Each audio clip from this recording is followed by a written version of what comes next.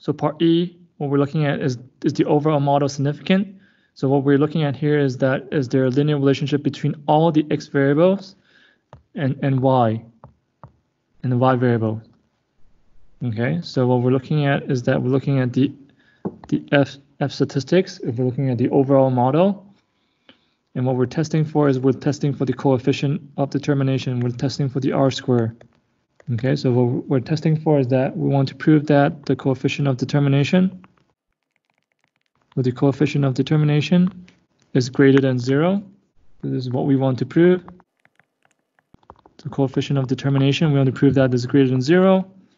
And before we prove that our h0 is the opposite, we have to assume that the coefficient of determination is less than or equal to zero. So when we look at it from the regressions, what we're looking at it, we're looking at the F distributions for the overall model significance. So what we're looking at is the F distribution. So we have the F statistics here, and then we have the, the p-value. Significant F is your p-value for the F distribution. So your F statistics, we have the F statistics, which is your 3.48. And then we are also given the p-value for the F distributions. And again, same as chapter 9, what we can do is we can compare the F statistics with the F critical. So F statistics is 3.488. We can compare that with the F critical. So the formula for F critical is F dot INV dot RT. And because this is one tail, so we're looking at probability is your alpha. Alpha is 5%. Degree of freedom is 3, 26. So you're 3 and then 26. So that's your degree of freedom for, for F critical. And you'll get the 2.975.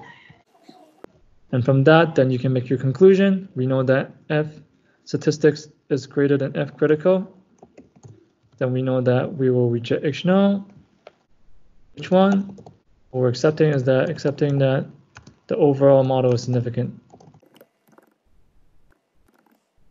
And then we can also do the same for by comparing p-value with alpha. P-value is 3%, alpha is 5%.